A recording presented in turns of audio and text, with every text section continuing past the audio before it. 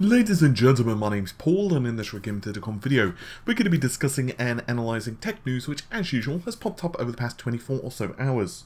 We're going to start the video out with the Intel 8-core Coffee Lake processor. That's right, we have specifications and early leaks on the CPU's performance. Then we're going to move over to yet another series of Spectre vulnerabilities. Just to clarify, these are not Spectre next generation, these are entirely separate. Then we're going to finish the video with some good news. EVGA are ditching the driver disk. Instead, they're going to be putting all of their software on USB, and I want to celebrate that. Before we begin the video, I'd like to encourage you, if you do enjoy the video, to click the subscribe and the like button. And of course, leave a comment below on your thoughts of today's stories. But with that said, let's start. It's doubtless that the 8700K is a really nice processor, but there is one thing for certain. Intel are still behind, in the minds of customers anyway, in the core wars. Currently, they have 6 cores, 12 threads against the Ryzen 2700X. 8 cores, 16 threads. Of course, there are clock speeds to take into consideration, as well as IPC of single thread performance, but still. A few days ago, Intel actually released the Z390 chipset block diagram, and it showed that yes, on the surface, the actual Z390 chipset is very similar to that of the Z370. The primary difference is inclusions such as the wireless AC adapter being baked right into the chipset, which should reduce manufacturing costs.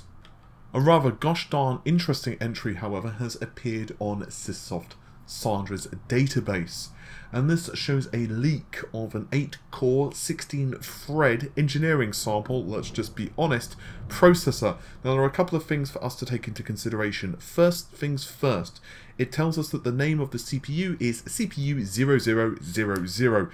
This is obviously not correct, and thus is an engineering sample. It is also being identified as Lake. It's also running at a rather paltry clock speed. We'll get to the clock speed in just a moment. First of all, let's go for the reason it's identifying it as a Kaby Lake rather than Coffee Lake.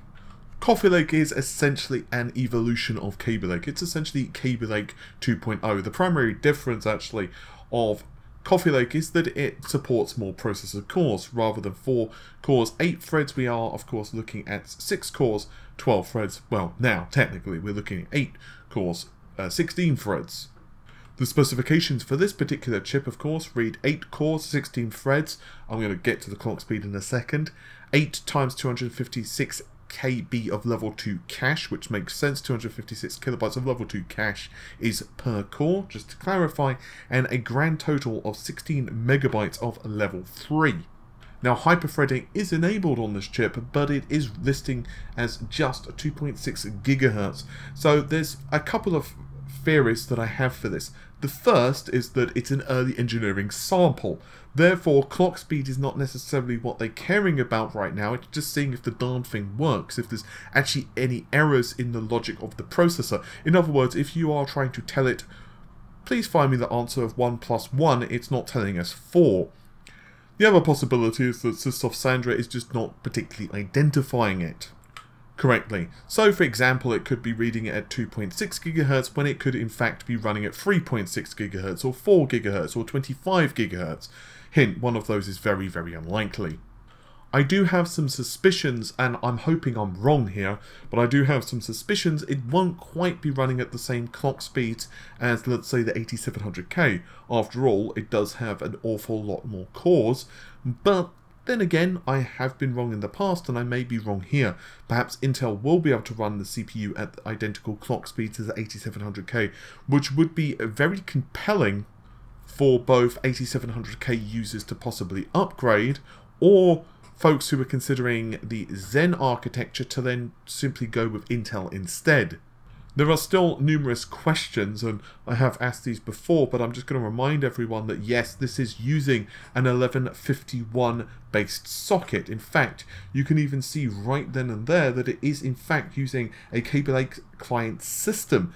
But whether we're going to see backwards compatibility with the Z370 boards or whatever system you have currently is, well, a guess. We do know that an 8700K will work in a Z390 motherboard, but that doesn't necessarily mean that vice versa will be true. I'm curious to know your thoughts on this. Would you buy the 8800K or whatever it ends up being called? Are you going to stick with your current system or are you just somewhat sick of Intel and perhaps just want to go with AMD? Or are you going to do possibly the best thing of all and that is just wait for performance numbers? Although, in a somewhat less enthusiastic piece of Intel news, there are yet more Intel Spectre vulnerabilities, and this is actually published by the former head of Intel's security. Ow. So, I'm hopefully going to pronounce this chap's name correctly. Yuriy Bulygin has actually found new speculative execution attacks and they hinge on both Spectre Variant 1 and also possibly work with Variant 2 Spectre exploits. He has created a new security agency, Eclypsium, and the company have released a rather lengthy blog post detailing exactly what the vulnerability is, how it functions, and of course, the most important thing, what type of impact it would have in your system if you were to be affected by this. But there is some good news, and that is that Intel have already began working with this. In fact, the company, uh, Eclypsium, were working with Intel on this back in March, and they recommend the same software guidance to actually mitigate Spectre Variant 1 with its various vulnerabilities as what is found in here, also known as SMM or System Management Mode, which are the series of vulnerabilities that Eclypsium have found. I'm going to read out a couple of the sentences of their conclusion. In our example, we demonstrated this attack scenario against an x86 system management mode and exfiltrated the data from system management RAM protected by the CPU hardware. This expands the impact aspect of Spectre vulnerabilities.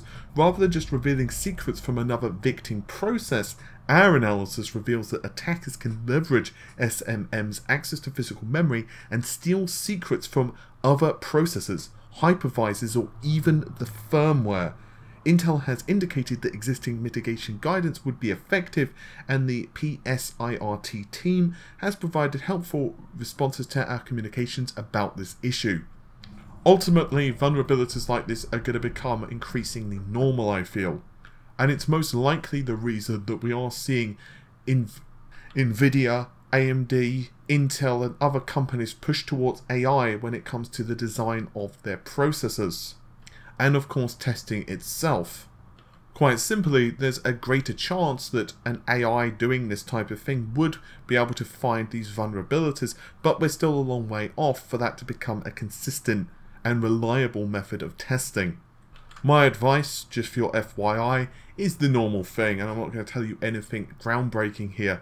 Just make sure that you have updated your motherboard uh, to the latest BIOS. Make sure, of course, that you've got any of the latest Windows updates, and just don't download something that is clearly something you do not trust. You can also use a Spectre Meltdown checker to see if your system is vulnerable. And I'd highly advise everyone, of course, to make sure that their system has all of the data which is important to them backed up and or encrypted, preferably both. Okay, and now on to the last topic, EVGA, because they are ditching the driver DVD. That's right, they are switching to the USB flash drive.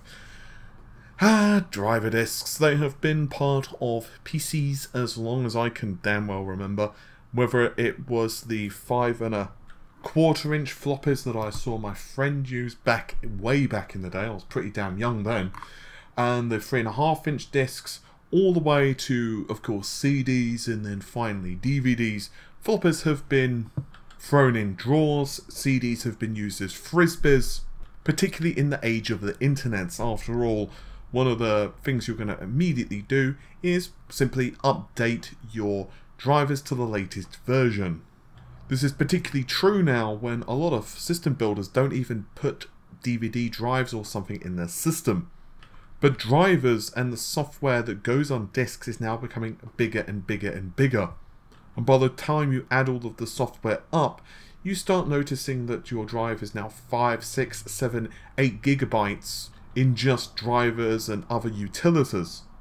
And the other problem, of course, is by the time six or seven or eight months has passed, certainly a year has passed, all of the software has been outdated, which means that you've got a couple of choices. The first choice is that you will simply not use that disk because you're just going to use another system if you really need to. For example, let's say that your network card or something like that requires a driver because Windows doesn't detect it automatically, then possibly at best you would use a USB drive to plug plop into your system, install the network card, and then from there you would simply go online, download all of the drivers, and that's about it.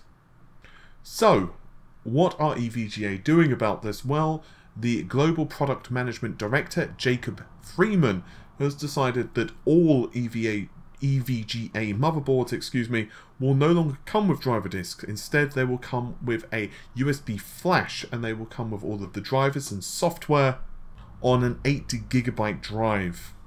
Now, of course, they're not the first company to do this. In fact, Asus have done it way back in the day, uh, but those are for high-end boards.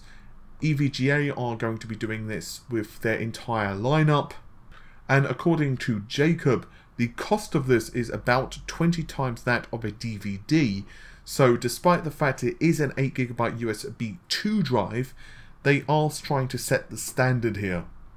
Honestly though, USB 2.0 is absolutely fine for installing files and quite frankly I love the fact that they're doing this because that means that this USB stick is going to be updatable.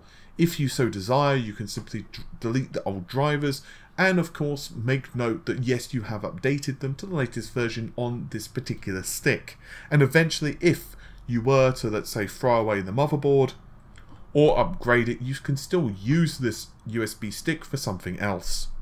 To me no of course this is not as exciting as a high-end graphics card or a new platform launch but you know what I'm bloody glad of this because ultimately I never use DVDs anymore. They're just a pain in the butt. I just don't even have an optical drive installed in my system. I'm just going to be honest.